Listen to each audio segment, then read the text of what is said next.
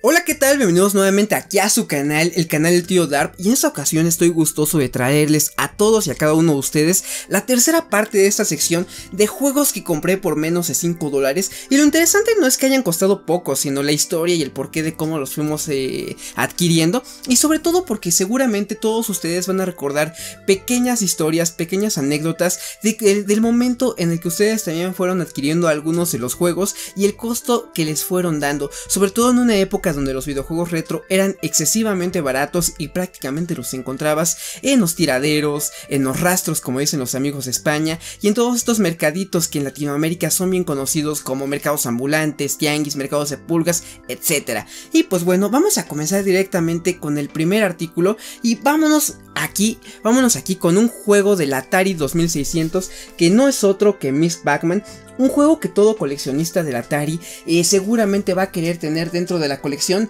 Vean aquí, gráficas, gráficas tipo arcade. Aquí lo podemos encontrar. Y si bien es cierto que este juego tiene una caja bastante maltrecha, bastante maltratada, un juego que sin duda alguna quizás el día de hoy no sea una pieza para mantenerse en una vitrina de coleccionista, la verdad es que fue bastante grato, bastante agradable el haber encontrado esto en su época. Un cartuchito bastante genial, con las propagandas, con la publicidad, con los manuales y pues bueno, obviamente con un cartucho en perfecto estado, el cual, se encuentra por aquí, que en el momento no lo vamos a sacar. Pero, ¿cuánto creen que fue lo que me costó esto? Recuerden, la moneda, vamos a hablar de dólares para todas las personas que nos ven de otro país. Nosotros nos manejamos con pesos mexicanos y un dólar es en promedio 20 pesos mexicanos. Pues esto, esto lo encontré en una ocasión que yo estaba viajando por uno de estos mercados ambulantes y me costó la excesiva cantidad de 5 pesos.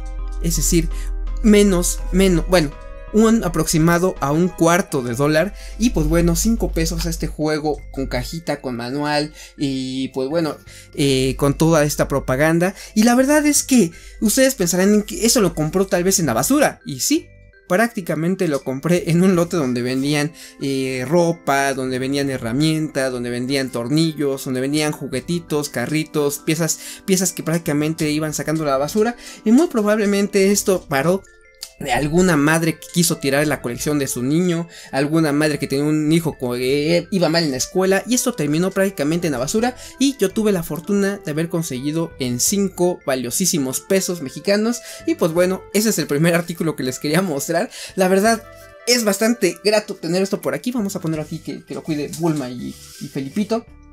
Y pues bueno, vamos a continuar con otro de los artículos que les tengo preparados por aquí.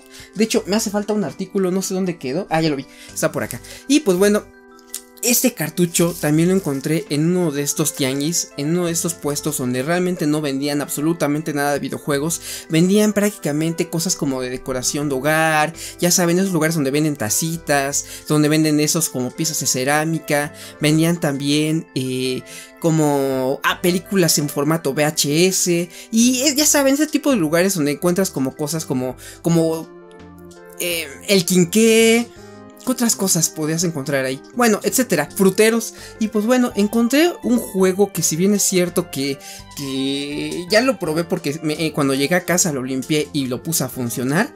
Es un juego que no lo he vuelto a jugar porque realmente me da bastante, pero bastante terror el probarlo. Todos ustedes sabrán, de hecho seguramente queremos, querremos hacer un video especial de esto que les voy a mostrar. Y no es otro que vean aquí, un juego que en su momento nos mostró esta gran compañía, una compañía mítica, y nosotros que Tabú el, sexto sentido, un juego que es conocido por ser un título maldito que toda persona que llega a jugarlo prácticamente se está condenando a una muerte terrible. Y si bien es cierto que es una leyenda urbana que en el último video que tuve aquí en el placer de estar conviviendo con ustedes en un directo estuvimos hablando de creepypastas, de historias de terror de los videojuegos, ese tipo de cosas, pues bueno, me recordó mucho esto.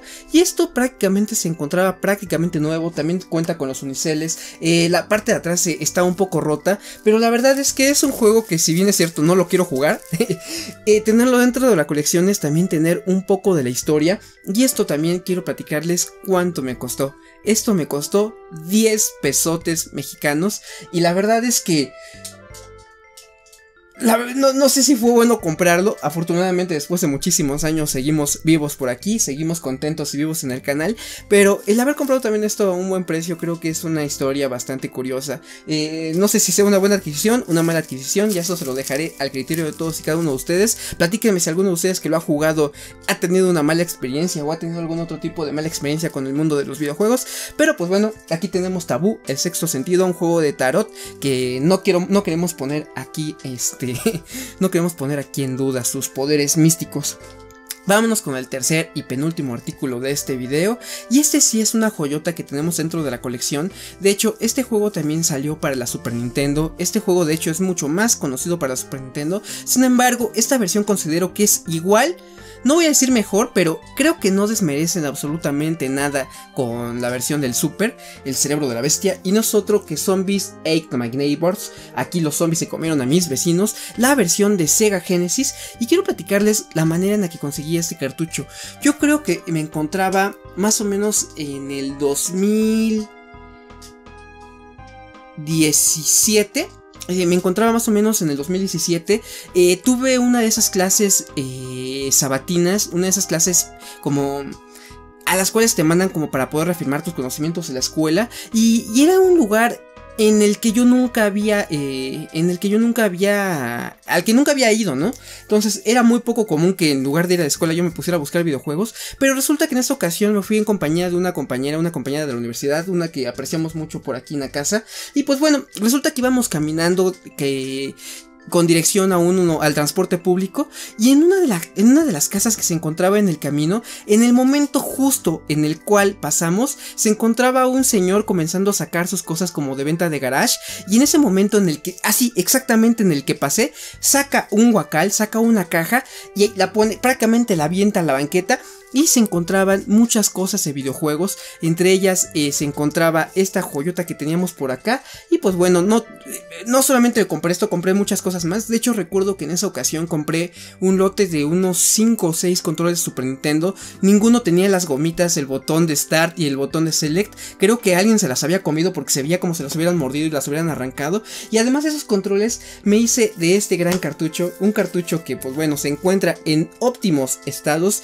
se encuentra bastante, bastante, pero bastante bien. Y pues bueno, todos ustedes saben que estos juegos de la época de 16 bits de la compañía Konami prácticamente era una garantía de calidad. Esto me costó un total de 45 pesos, es decir, prácticamente 2 dólares. Y pues bueno, lo tenemos aquí dentro de la colección y me da un placer gigantesco el poder tener este cartucho dentro de la colección. Ahora bien, Vámonos con la última pieza que les quería mostrar dentro de este video. Y en el video pasado les estuve platicando de que tenía un, de que conozco uno de mis vendedores que prácticamente se comunica únicamente con sonidos el señor C. Y pues bueno aquí tenemos un periférico de la Sega Master System que es bastante eh, difícil de conseguir hoy en día. Y no es otro que el control stick para la Master System. Un control que es curioso que todavía tiene como la escuela del Atari 2600 y eso se los voy a decir por qué. Quizás alguno de ustedes ya haya notado esto desde el momento en el que se los estoy mostrando. Ya lo vieron. Eh, vean cómo gira cómo gira el stick, cómo gira la palanca. Y me refiero que esto se parece al Atari 2600 porque en lugar de tener, digamos que la, la cruceta o el stick del lado izquierdo, todavía lo tenemos del lado derecho, tal cual y como se manejaban la Atari 2600, la consola con la que comenzamos en este video. Y tenemos el botón 1 digo, tenemos el botón, sí, tenemos el botón 1 y el botón 2. Y pues bueno, también podemos notar que no contamos con el botón de, de, pausa, ¿no? Clásico de la Sega Master System. Este periférico que es bastante práctico y bastante entretenido para jugar juegos arcades como, como Double Dragon u otros más que fueron portados a la máquina eh, casera.